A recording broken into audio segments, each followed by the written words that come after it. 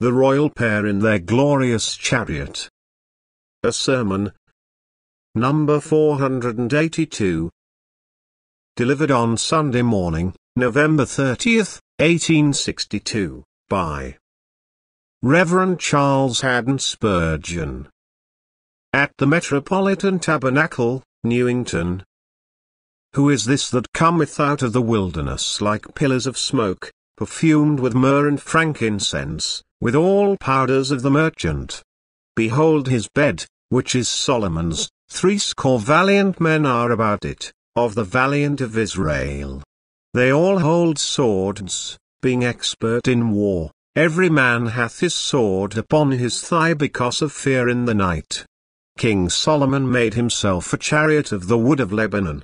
He made the pillars thereof of silver, the bottom thereof of gold, the covering of it of purple, the midst thereof being paved with love, for the daughters of Jerusalem. Go forth, O ye daughters of Zion, and behold King Solomon with the crown wherewith his mother crowned him in the day of his espousals, and in the day of the gladness of his heart. Solomon's Song 3, 6-11 Great princes in the East are in the habit of travelling in splendid palanquins, which are at the same time chariots and beds. The person reclines within, screened by curtains from public view. A bodyguard protects the equipage from robbers, and blazing torches light up the path along which the travelers proceed. King Solomon, in this song, describes the Church of Christ, and Christ himself, as travailing through the world in such a palanquin. The day is coming when both our divine Lord and his chosen bride shall be revealed in glory before the eyes of all men. The present age is the period of concealment. The mystical Solomon and his beloved Solimu are both on earth, but they are unseen of men. Like the ark of old they dwell within curtains, only the anointed priests of God can discern their beauties, and even these gaze rather by faith than by sight. Lo I am with you alway, even unto the end of the world, is certainly true, for Jesus is here. But equally correct is that word of Peter, whom having not seen, ye love, in whom, though now ye see him not, yet believing, ye rejoice with joy unspeakable and full of glory. He is here in the reality, power, and influence of his presence, but he is not here as to the visibility of his kingdom and person. For we wait with our loins girt about, and with patience of hope, until the revelation of Jesus Christ. The portion of the blessed canticle now before us is, we think, descriptive of the progress of the hidden Christ through the world. He has been borne along, in very truth, but he himself has been so little perceived of men, that they even ask the question, Who is this that cometh out of the wilderness? He is not now manifested openly to men. If any should say, Lo here. Or lo there. This is Christ. Believe them not, for Christ is not as yet seen. When he doth come he shall be as perceptible as the lightning's flash, which every man's eye discerneth without the need of an instructor.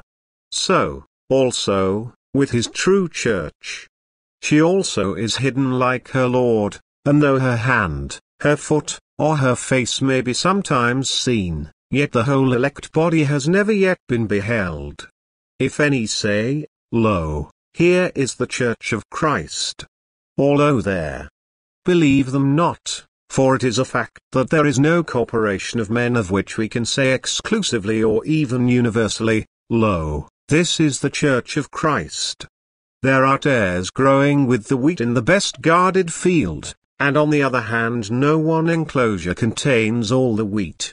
The true Church of Christ is scattered here and there, it is found amongst all denominations, and there is not one denomination of which you can say, this only is the Church of Christ, or all its members belong to the body of Christ's spouse. Just now the mystical bride is in a certain sense as invisible as her husband. Behold, then, the betrothed ones carried through the world in the sumptuous chariot of which we have to speak this morning. I must now claim your attention while I notice, first, the glory of the progress of Christ through the world, as described in the sixth verse, secondly, the security of Christ's cause, as represented in thy seventh and eighth, thirdly, the superlative excellence of it, as described in the ninth and tenth, and lastly, our joyful duties with regard to it, as openly declared in the eleventh. 1. First, then, the magnificent progress, the glorious ongoing of the Church and her Lord through the world. Who is this that cometh out of the wilderness like pillars of smoke, perfumed with myrrh and frankincense, with all powders of the merchant? The equipage excites the attention of the onlooker, his curiosity is raised, and he asks, Who is this? Now, in the first progress of the Christian Church, in her very earliest days, there were persons who marveled greatly, and though they set down the wonders of the day of Pentecost to drunkenness, yet they were all amazed, and were in doubt, saying one to another, What meaneth this? In after years, many a heathen philosopher said, What is this new power which is breaking the idols in pieces? changing old customs, making even thrones unsafe. What is this? By and by, in the age of the Reformation, there were cowled monks, cardinals in their red hats, and bishops, and princes, and emperors, who all said, What is this? What strange doctrine has come to light?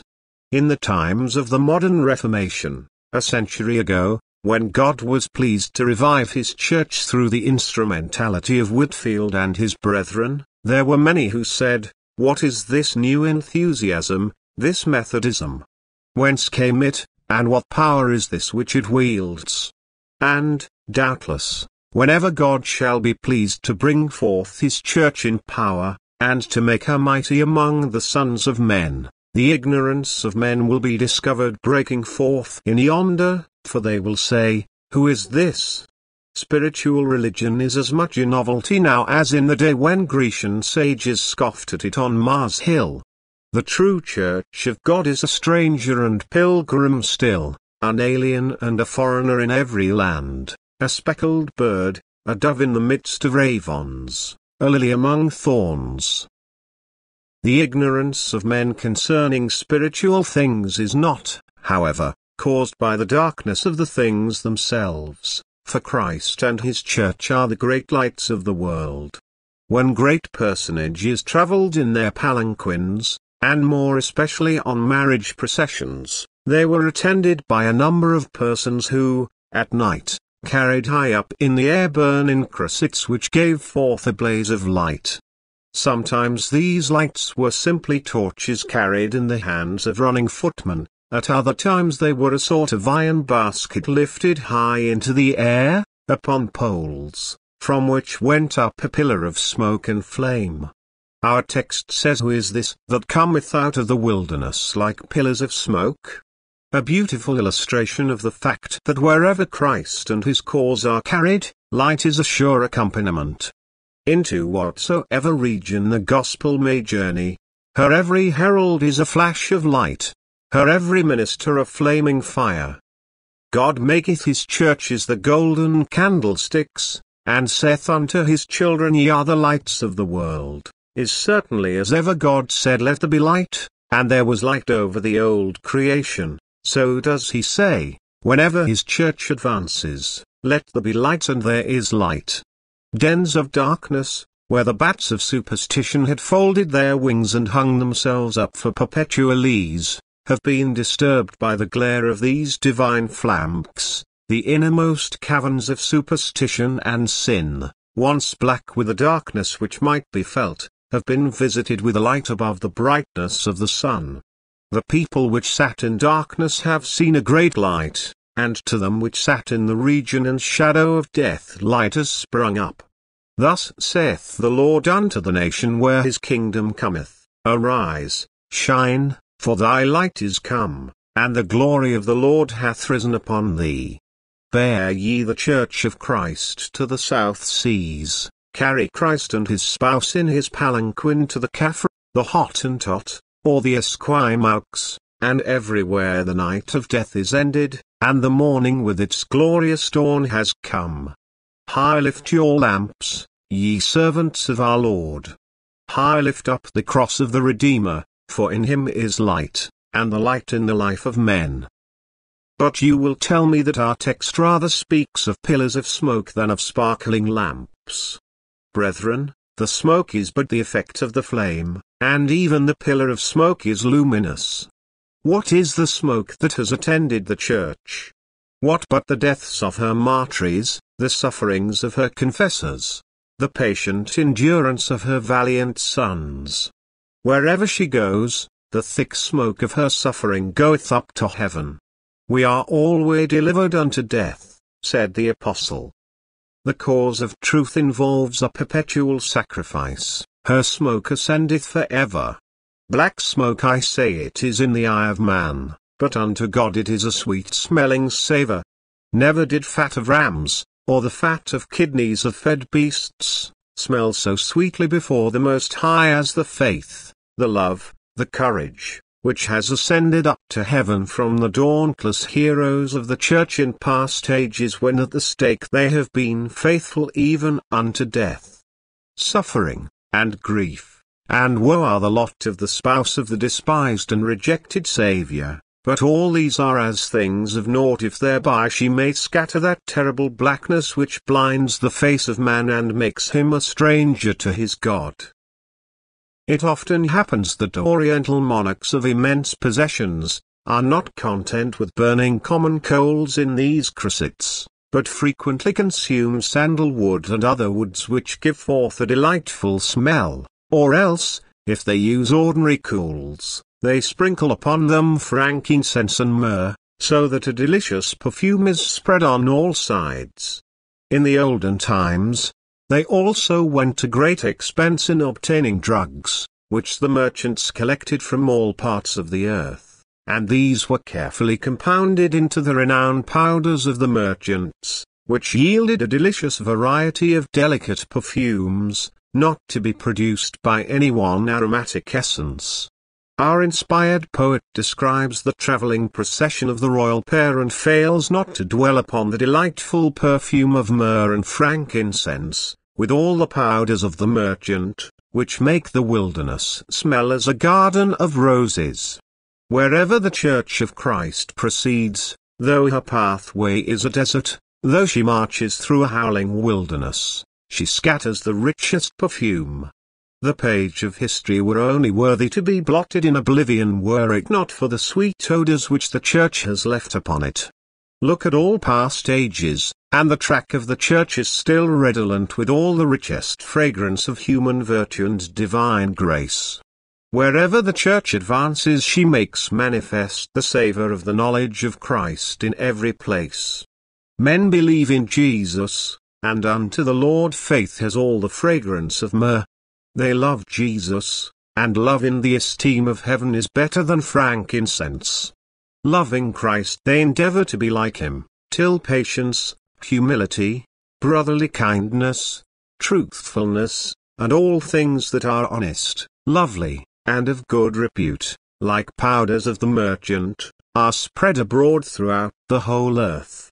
Tell me where the church is not, and I will tell you where sin reigns, tell me where Christ and his church are carried, and I will tell you where you shall find every virtue that can adorn humanity, and every excellence that can magnify the excellence of the grace of God. If you would find an antidote for the deadly exhalations which lurk among this world's deserts of sin, if you would destroy the foul pestilence which reigns in the darkness of heathenism, of popery, and of infidelity, Cry unto the mighty one, Arise, thou unknown traveller, arise, and bid thy servants carry thee into the midst of all this misery and death. The light of thy flaming torches shall scatter the darkness, and the booming of thy precious perfumes shall say unto evil, Fold thy wings. And unto the pestilence of sin, get thee back unto thy den. Among the ten wonders which Jewish tradition ascribes to the temple, we find that the rain never extinguished the fire of the wood which was laid in order upon the altar, nor did the wind ever conquer the pillar of smoke so as to disperse or bend it. Verily it is so with the church of God, as she cometh out of the wilderness, who shall quench her flaming lamp, or stay the incense of her golden censers. Ride on, great prince, and bear thy spouse with thee in thy majestic chariot, till thou hast lit the world with thy divine light, and hast made it a temple filled with a cloud of incense of sweet smell to the nostrils of Jehovah. 2. We have, secondly, to notice the security of Christ's church at all times. Of course when traveling through a wilderness, a royal procession was always in danger of attack. Arabs prowled around, wandering Bedouins were always prepared to fall upon the caravan, and more especially was this the case with a marriage procession, because then the robbers might expect to obtain many jewels, or, if not, a heavy ransom for the redemption of the bride or bridegroom by their friends. What shall I say of the attacks which have been made upon the Church of Christ, and upon Christ himself? They have been incessant. When one form of evil has been rooted, another has presented itself. Evil teems with children. The frogs and lice of Egypt were not more numerous than the enemies of the Lord's anointed and his bride. Every day produces new battles. These attacks arise from all quarters, sometimes from the world, and sometimes, alas, from even professed members of the Church. Adversaries lurk everywhere, and until the Church and her Lord shall be revealed in the splendor of the millennium, having left the wilderness forever, we must expect to find her molested on every side. My dear brethren, we know that Christ's cause in the world is always safe because of divine protection and because the legions of God's angels keep watch and ward over the saints. But we have something more tangible than this. Our gracious God has been pleased to commit unto men the ministry of Christ. Unto the angels hath he not put in subjection the world to come, whereof we speak. The Lord ordaineth that chosen men should be the protectors of his church, not that they have any power as of themselves to do anything but he girdeth the weak with strength and maketh the feeble mighty. So then, men, even the sons of men stand in array around the travelling palanquin of Christ, to guard both the bridegroom and the bride.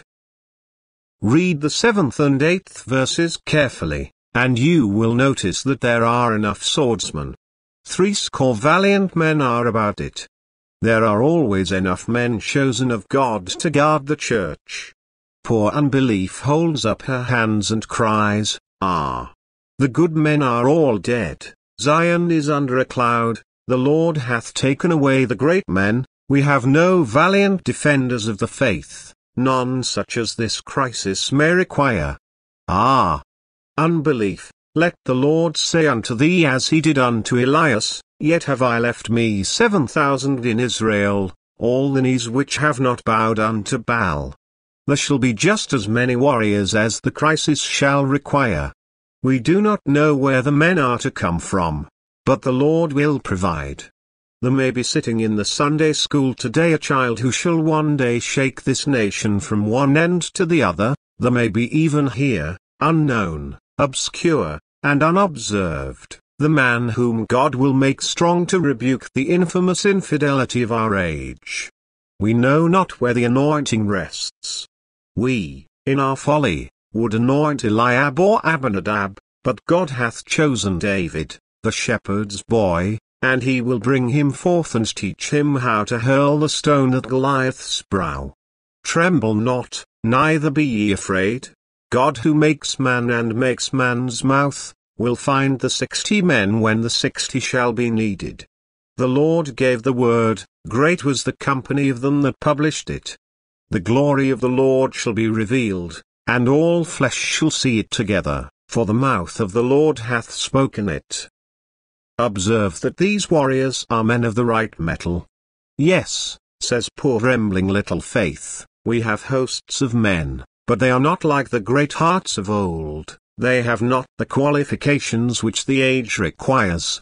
Ah! But remember, about the bed of Solomon there are threescore valiant men, and glory be unto my master, while I may not flatter the ministry, I must not dishonor him by believing that he has left his church without valiant defenders. There are Luthers still living who bid defiance to all adversaries, men who can say, We count not our lives dear unto us that we may finish our course with joy, and fulfill the ministry which the Lord hath delivered unto us.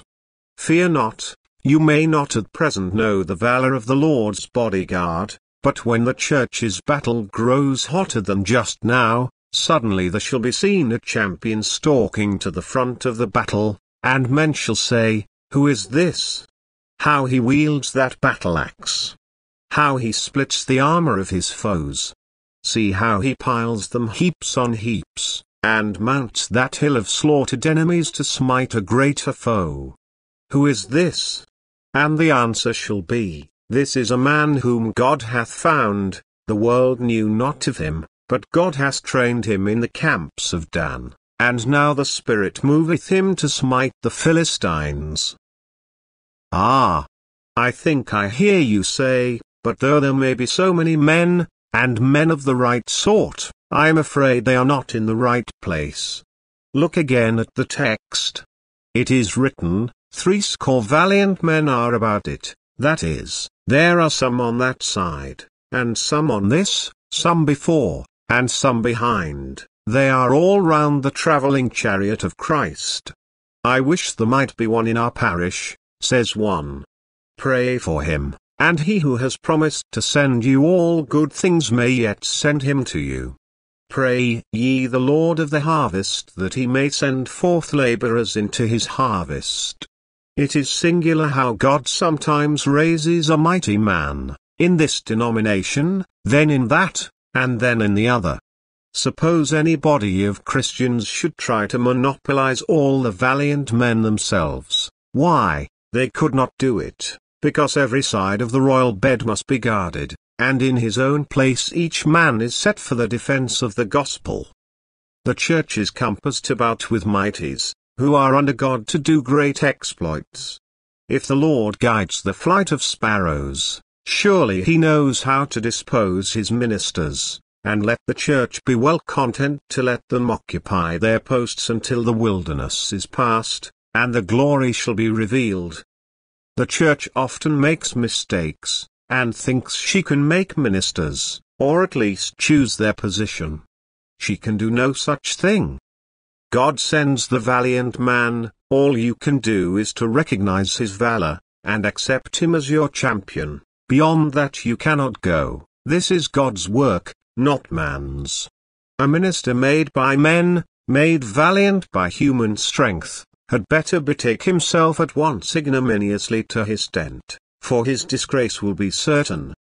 God who sends the men, knows where to put them, so that they may stand round about the bed and leave no corner unprotected. Notice that these men are all well armed. The text says expressly, they all hold swords. What swords are these? Every valiant man in Christ's Israel holds the sword of the Spirit, which is the Word of God. A man who is a good textuary will usually be a good divine, he who draws from the treasury of the written word will find his spoken word to be fruitful in profit to the people of God. If we use carnal reason, if we rely upon refinement, argument, eloquence, or any other form of the wisdom of man, we shall soon find our enemies will defeat us, but to apply the word right and left, to give gospel cuts and strokes such as the devil himself cannot parry, this is to overcome the world through the word of God. Besides this, and here is an opportunity for you all to carry swords, every valiant man in God's Israel carries the sword of prayer, which is comparable to those huge two-handed swords of the olden time, which the soldier lifted up and brought down with such tremendous force as to cleave a man in halves, prayer is a weapon which no man can effectually resist. if you know how to use it, bring it down upon your foeman's head, and woe unto him. I would to God that in this church there were found many of these valiant men of Israel. Indeed, would God all the Lord's servants were prophets, that it might be said of all of you that you hold swords. Your holy lives can be swords with which to smite your enemies. The tongues with which you speak of Christ lovingly, tenderly, persuasively, these may be weapons against our common enemy. Oh that when we hear the must roll at last, it may be said of every church member that he held a sword. Do not tremble, ye timid ones, for the ark of the Lord, neither let your fears promote your unbelief. God knows full well how to give the right weapons to the right men, and his church shall be secure even to the end. Further, my brethren, these men are not only well armed, but they are well trained. They are all expert in war, men who have endured temptations themselves, men whose souls have been exercised, men who have slain both the lion and the bear, and are men of war from their youth. Christian ministers especially should be no novices, but both in the school of temptation, and in some school of the prophets, they should be disciplined for fight. May there be such found here.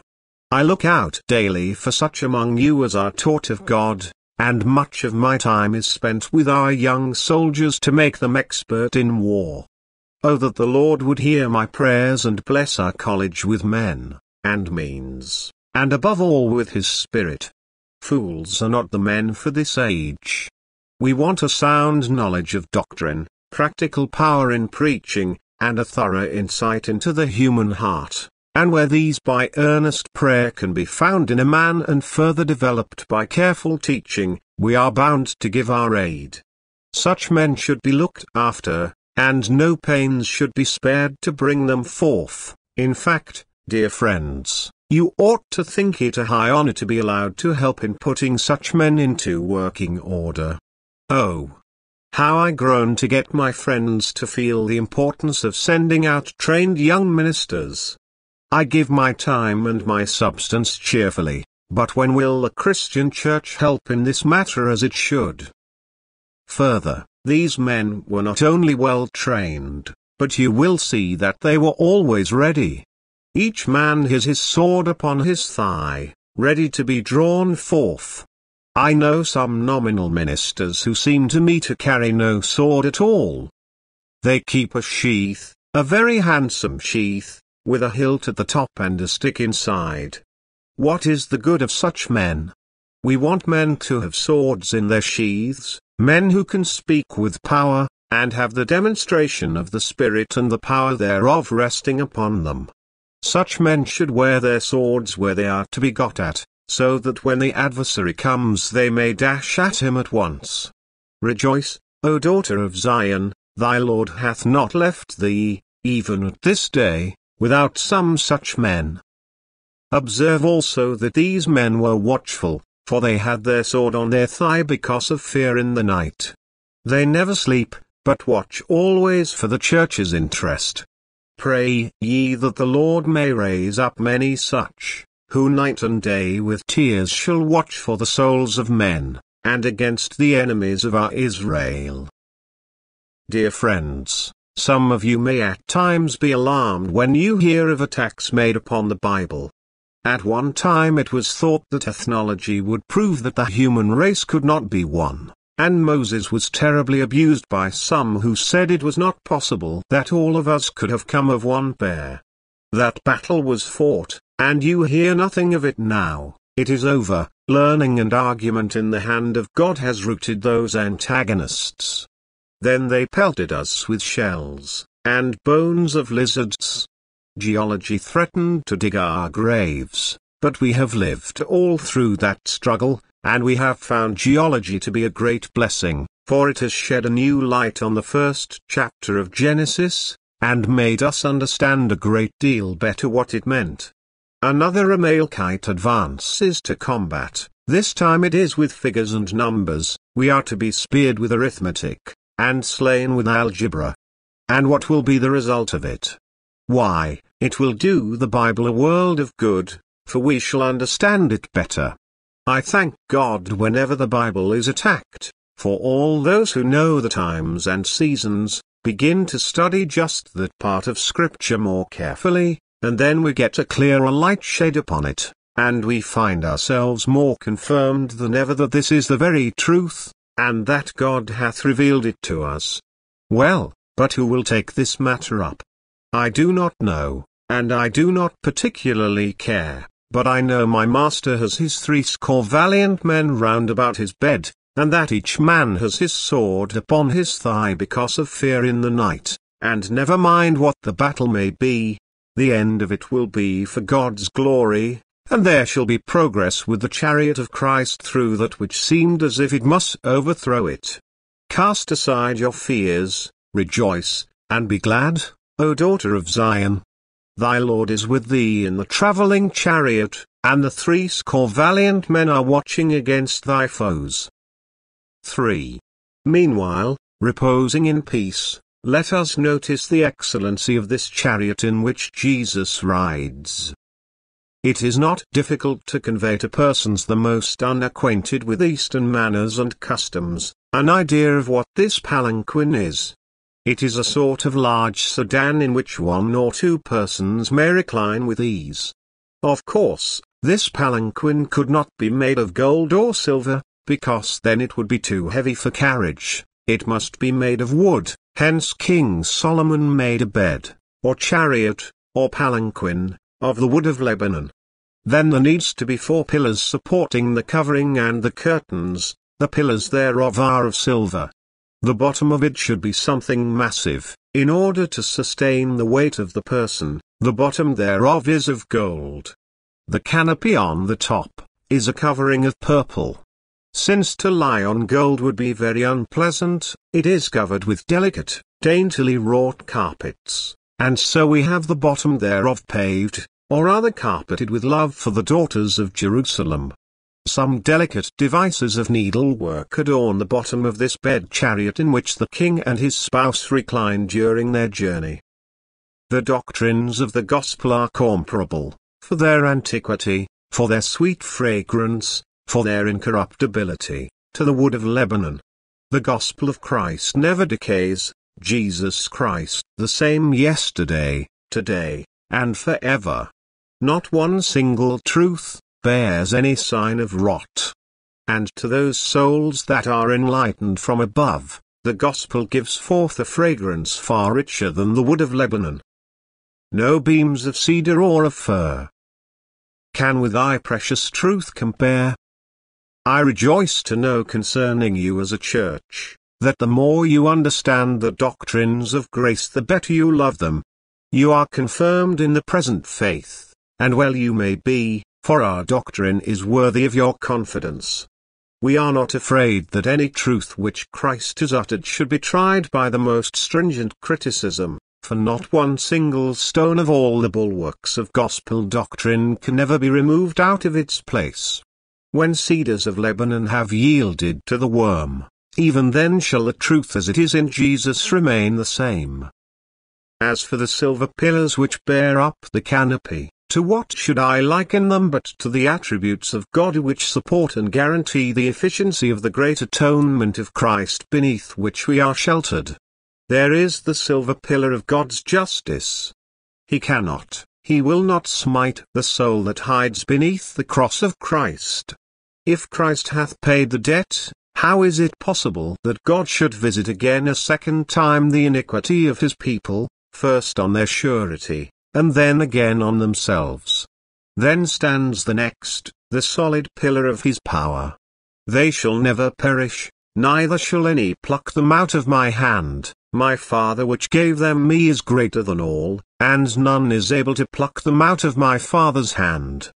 Then on the other side is the pillar of his love, a silver pillar indeed, bright and sparkling to the eye, love unchanging and eternal, strong as the power and fast as the justice which bear up the canopy on the other side. And here on this side stands immutability, another column upon which the atonement rests. If God could change, then might he cast away his blood bought, but because I am God and change not, therefore ye sons of Jacob rejoice. As for the covering of the chariot, it is of purple. I need not tell you where it was dyed. No Tyrian hues are mingled here. Look up, Christian, and delight thyself in that blood-red canopy which shelters thee from the sun by day and from the moon by night. From hell and heaven, from time and from eternity, art thou secured by this covering which is of purple. Oh! Tempting theme to dilate upon the precious and glorious doctrine of atonement. Whenever our adversaries assail the Church, whatever may be the apparent object of their animosity, their real one is always the same, a desperate hatred to the great truth that God was in Christ reconciling the world unto himself, not imputing their trespasses unto them. Well, as they hate it, let us love it, and under it let us take our greatest delight. As for the bottom of this palanquin, which is of gold, may not this represent the eternal purpose and counsel of God, that purpose which he formed in himself or ever the earth was. Pure was the decree of God, holy, wise, just, for his own glory, and most true, and as the precious things of the temple were all of gold, well may the basis of eternal love, unimmutable and unchangeable decree, be compared to much fine gold. I do not know, brethren, how it is with you, but I find it most pleasant to have as the basis of my hope, the firm decree of God. Atonement covers me, I know, but still on this I must rest, Jehovah wills it, God decrees it, he hath said it, and it must be done, he hath commanded and it standeth fast. Oh! That golden sovereignty, whereon is written, I will have mercy on whom I will have mercy, it is not of him that willeth, nor of him that runneth. Dear brethren, the Apostle plainly tells us that this is the basis on which even the silver pillars rest, for he hath blessed us with all spiritual blessings in Christ Jesus, according as he hath chosen us in him from before the foundation of the world. Then, to make this all soft and pleasant to recline upon, here is pavement of needlework, soft cushions of love on which to rest. There is a double meaning here, for both the bride and bridegroom find rest in love. Our Lord finds rest in the love of his people. Here will I dwell forever. They do, as it were, make these carpets of needlework in their love and affection for him, and in their trust and confidence in him, and here he rests. On the other hand, our beloved spent his life to work for us our bed of rest, so that we must translate it love of, as well as love for the daughters of Jerusalem. We rest in Christ's love, he rests in our love. Come, I need not explain further, brothers and sisters. Take your rest now to the full. You are married unto Christ, you are one with him, betrothed unto him in faithfulness, embraced in the arms of his affection. Fear not the noise of archers. The threescore valiant men protect you, and the king himself embraces you. Now solace yourself with him, take your full of his sweet society, and say unto him from the bottom of your heart, Let him kiss me with the kisses of his mouth, for his love is better than wine. Leave fighting for the evidences to the valiant men who can do it, as a for you, Ye daughters of Jerusalem, rest upon your Lord's bosom, leave conflict to the men ordained to fight, the men expert in war, as are for you. Be you expert in communion, understand the motions of Jesus' heart, look unto the luster of his loving eyes, behold his beauties, be ravished with his divine affection to you, and now let your soul be satisfied with favor, and be full of the loving kindness of the Lord. 4.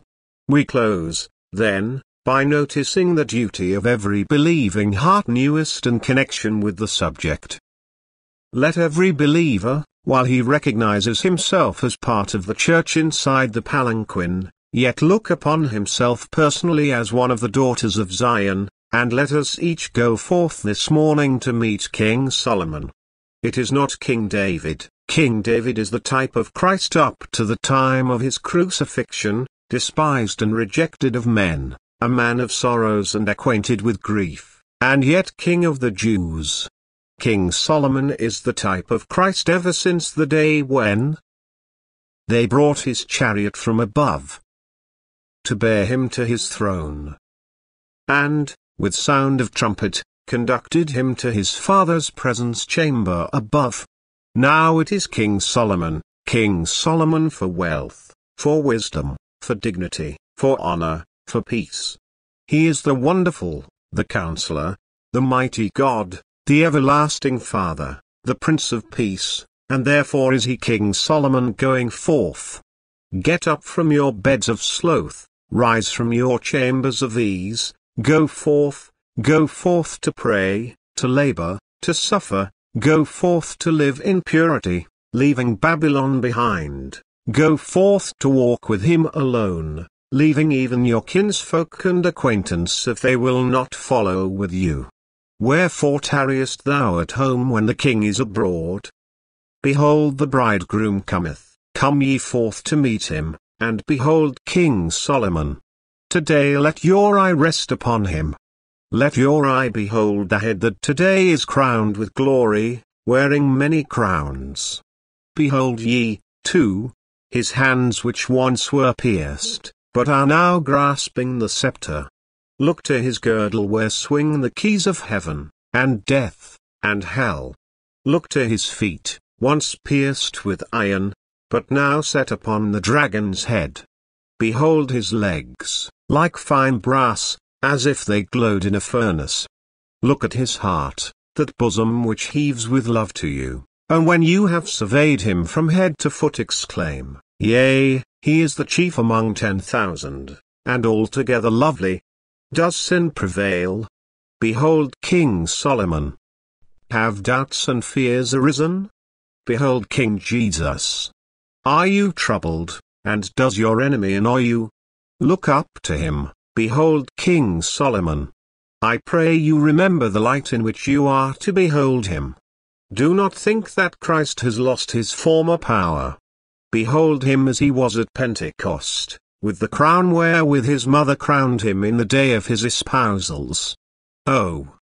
How glorious was our Lord when the church crowned him with her zeal, and the arrows went abroad, and three thousand fell slain by his right hand to be made alive by the breath of his mouth. Oh, how these early saints crowned him, when they brought of their substance and laid it at the apostles' feet, neither did any man count that aught he had was his own. They crowned him with their heart's purest love. The church had on her brow her bridal wreath, and her husband wore his nuptial crown. Behold him today as wearing that crown still, for he is the same Christ, and do you go forth to meet him, and labor for him, and love him as the first saints did. Forget not that his mother is to crown him soon in the day of his espousals. He is our brother as well as our husband, and the church is his mother as well as ours. Oh! She is to crown him soon, the day of his espousals draweth nigh. Hark! I hear the trumpet sound. Jesus comes, and his feet stand upon Mount Olivet, kings and princes lick the dust before him. He gathers sheaves of scepters beneath his arm even as the mower gathereth wheat with the sickle. He treadeth on principalities and powers, the young lion and the dragon doth he trample under foot. And now his saints cry, Hosanna, Blessed is he that cometh in the name of the Lord. The long expected one is come, and his mother crowns him in the day of his espousals. Courage, poor heart, courage. Go forth and see King Solomon today as he is to lie, and remember, it doth not yet appear how great we shall be made. But when we see our Saviour here, we shall be like our head. When we look on him, let us rejoice that this is to be our glory. We are to put off this sackcloth and put on scarlet and fine linen. The dust is to be wiped from our brow and the sweat from our face, the shackles are to be taken from our wrist, and the gyves from our legs, and we are to be emancipated, ennobled, glorified, made partners with Christ in all his splendor, and taught to reign with him world without end. But there are some here that I can hardly call the daughters of Jerusalem, yet they are always round about Zion's gate. Oh, there are many of you who are always listening to our voice, and joining in our hymns, and yet you have not seen our Master yet. Go forth, leave your sinful pleasures, and leave your self-righteousness too, go forth and behold King Solomon. Look to Jesus, sinner, bleeding on the cross, and as thou lookest, love and trust, and I know that as soon as thou hast seen him and trusted him, thou wilt have a crown to put upon his head. It will be the day of thine espousal unto him, and thou wilt crown him with such a crown. Thou wilt decorate that crown with jewels dug from the secret mine of thy deepest heart, and having made this crown, thou wilt put it on his head, and fall down before him and sing. All hailed the power of Jesus' name. Let angels prostrate fall. Bring forth the royal diadem and crown him Lord of all. Well, then, we will lay aside every fear, and continue all the day gazing upon our matchless Christ, adoring him, exalting him, and having fellowship with him, for all is well. His travelling chariot is always safe, and soon will he step out of it with his bride at his right hand, and the world shall be astonished to behold the beauties of the royal pair when he shall be exalted and they that are with him, before the presence of his Father and all the holy angels.